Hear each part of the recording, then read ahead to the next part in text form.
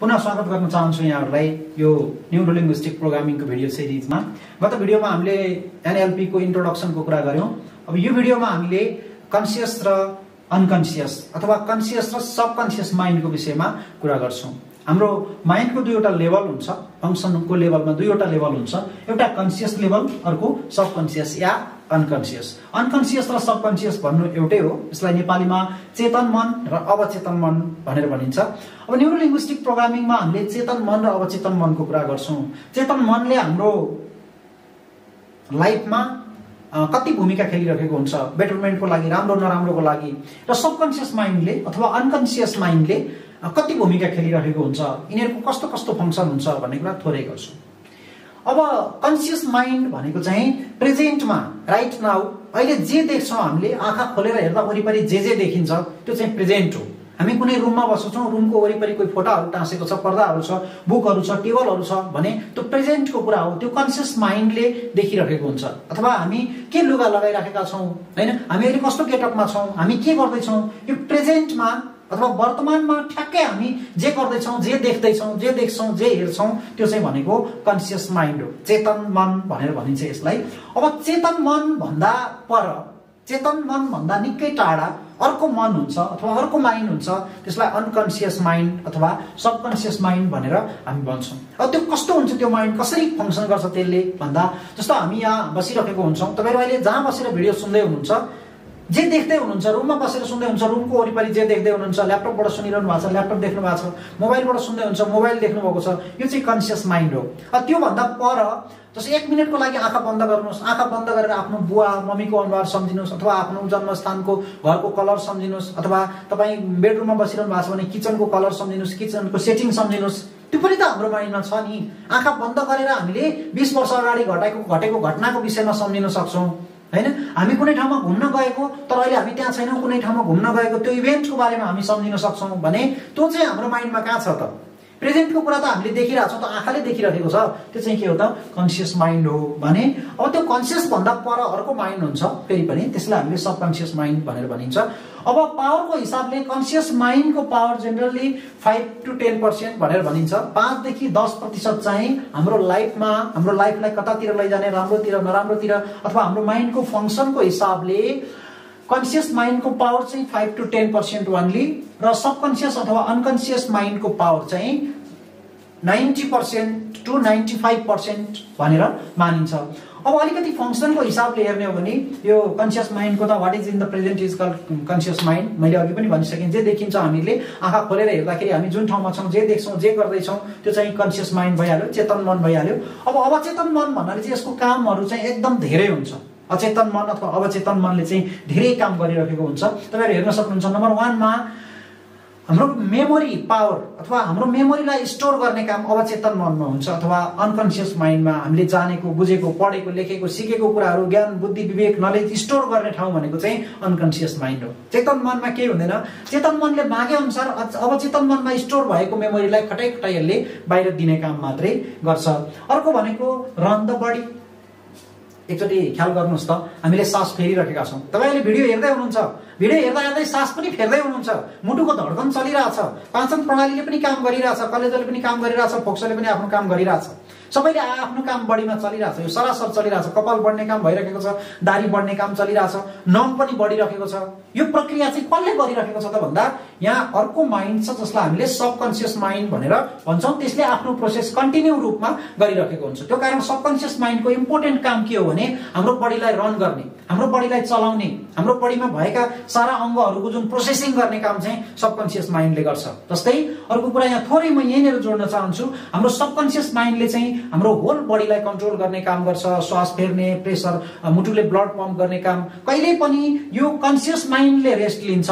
हामी जब राति रेस्ट गर्छौँ अथवा दिउँसैमा हामी निदाउँछौँ निदाएको बेला हाम्रो कन्सियस माइन्ड चाहिँ रेस्टको अवस्थामा हुन्छ। कम्प्लिटली रेस्टको अवस्थामा हुन्छ। तर हामी जब निदाउँछौँ निदाएको बेला पनि अनकन्सियस माइन्ड अथवा सबकन्सियस माइन्ड चाहिँ यो चलिरहेको हुन्छ। यसले आफ्नो काम गरिरहेको हुन्छ। बडीलाई रन गराउने काम गरिरहेको हुन्छ। ब्लडलाई मुटुले पम्प गर्ने काम गरिरहेको हुन्छ। कलेजो फोक्सो किडनी यो सारा कुराले काम गरिरहेको हुन्छ भने यसको कन्ट्रोल कोसँग छ त भन्दा यसको कन्ट्रोल चाहिँ हाम्रो सबकन्सियस माइन्डसँग छ। त्यो कारण सबकन्सियसले माइन्डले कहिले पनि रेस्ट लिँदैन।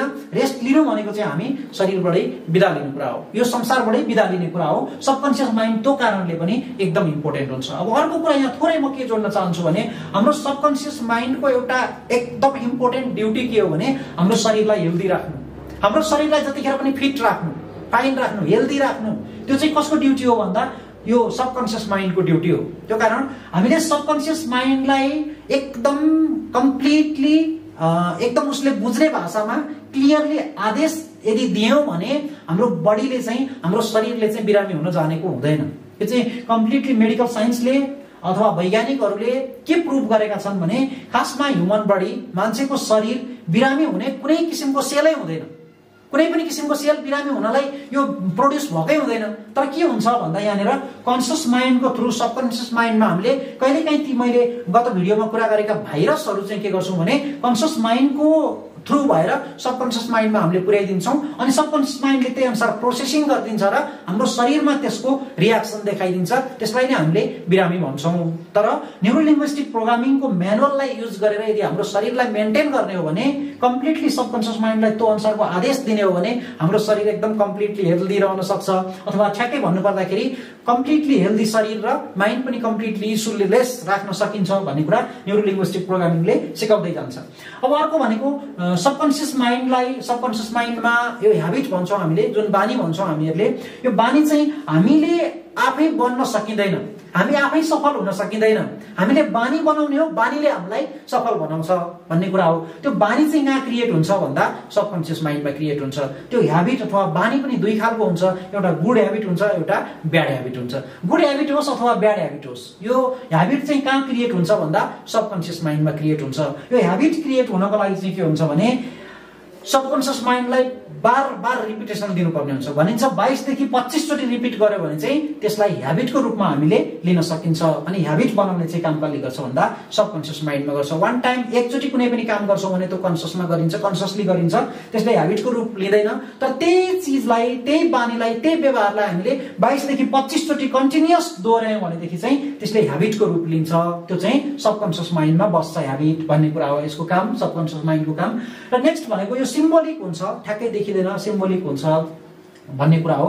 अर्को कुरा चाहिँ अर्को इम्पोर्टेन्ट कुरा के छ भने can not process the negative मैले अघि पनि भनेको थिएँ गत भिडियोमा ह्युमन माइन्डमा असीमित क्षमता हुन्छ। बिल्कुल हुन्छ। ह्युमन माइन्डकै कारणले गर्दा अहिले एकदम विश्वलाई एकदम साँगुरो बनाइदिएको छ? विश्वमा अहिले घन्टौँ लाग्ने दिनौँ महिनौँ लाग्ने हिँडेर आउँदा जाँदा अहिले हामी एक घन्टाको यात्रामा हामी टाढा टाढा पुग्न सकिन्छ देश विदेश घुम्न सकिन्छ।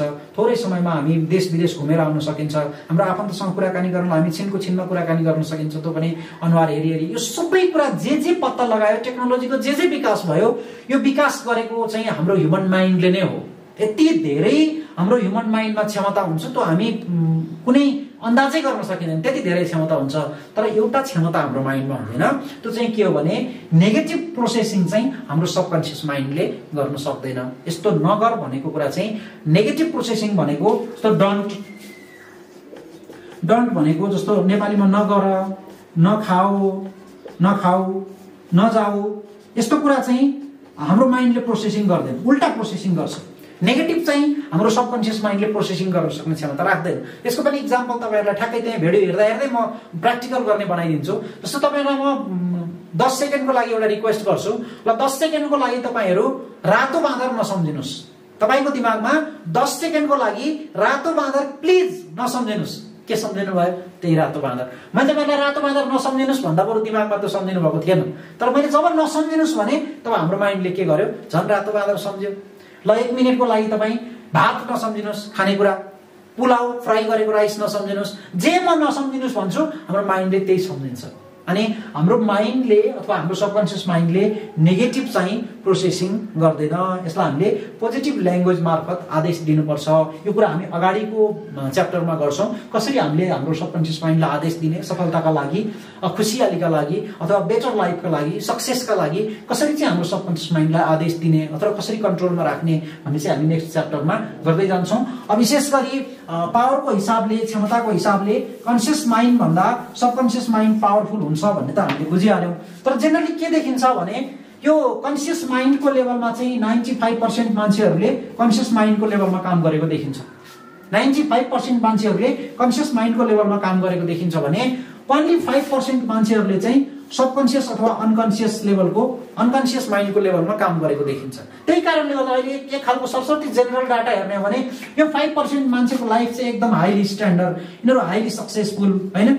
एकदम स्पेसिफिक एकदम भिआइपी खालको लाइफ अथवा हाइली सक्सेसफुल पिपुलको लिस्टमा जम्मा फाइभ पर्सेन्ट मान्छे देखिन्छन्। यसको रिजन चाहिँ के हो भने उहाँहरूले चाहिँ यो अनकन्सियस अथवा सबकन्सियस माइन्डको पावरलाई प्रयोग गरिरहनु भएको छ। धेरै सफल मान्छेहरूको कहानी हेर्नुहोस् धेरै सफल मान्छेहरूको बायोग्राफी पढ्नुहोस् उहाँहरूको बायोग्राफीमा के देखिन्छ भन्दा उनी उहाँहरूले चाहिँ आफ्नो अनकन्सियस अथवा सबकन्सियस माइन्डमा भएको पावरलाई सकारात्मक रूपमा प्रयोग गरेको देखिन्छ। त्यो कारणले गर्दा सफलताको लिस्टमा फाइभ पर्सेन्ट बाँकी नाइन्टी फाइभ पर्सेन्ट भनेको चाहिँ अब कमन लिस्टमा एकदमै जेनरल कमन लिस्टमा असफल पनि भन्न सकिन्छ अथवा जेनरल कमन पनि भन्न सकिन्छ।